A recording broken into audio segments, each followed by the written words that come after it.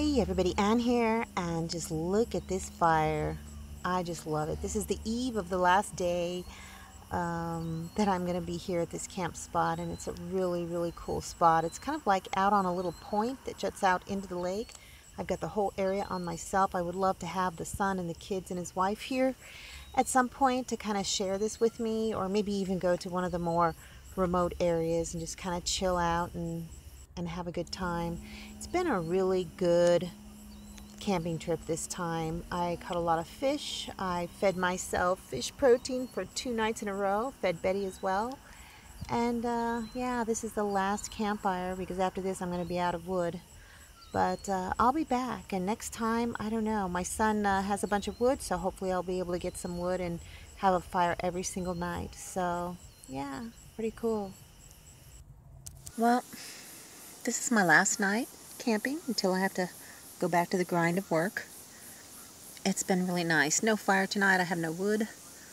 I've already broken down the, the canopy and everything and I've got my girl sitting here right next to me. Just calm as can be because nobody's driving by in their golf carts.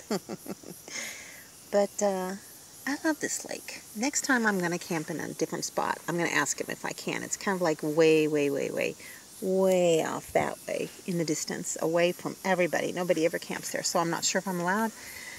But it's just been so nice. And oh, here, let's see. There's the the moon through my window, my dirty window. I need to clean it. It's just been a really, really nice camping trip. And uh, Betty Betty has been so good. She's barked a few times, but you know what? That's what dogs do, and she just loves sitting out here with me. I love this dog. I had thought about giving her away, but you know what?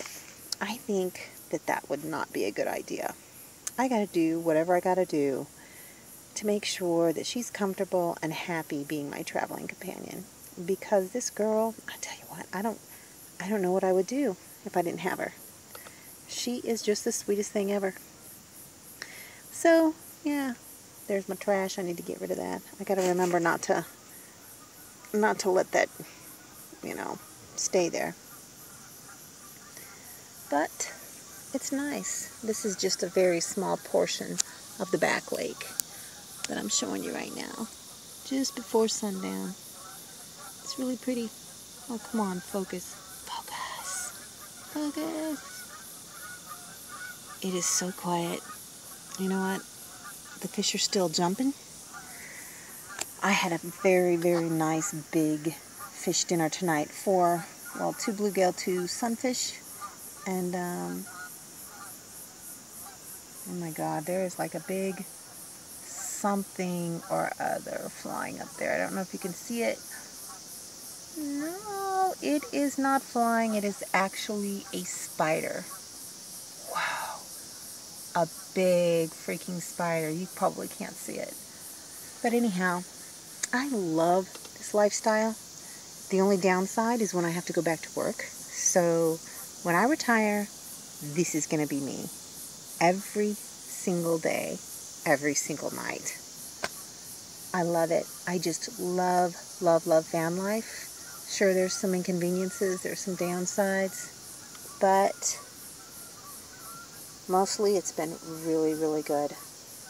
Anyway, um, that's all I got for you guys. I'll talk to you in the next video. Thanks for watching, everybody. I hope you enjoyed the video. Make sure you like, subscribe, hit the bell, and y'all have a good one.